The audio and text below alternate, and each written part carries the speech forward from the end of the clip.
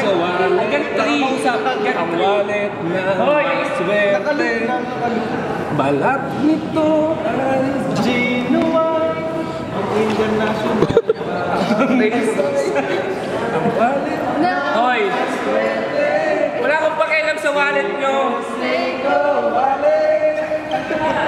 Ano?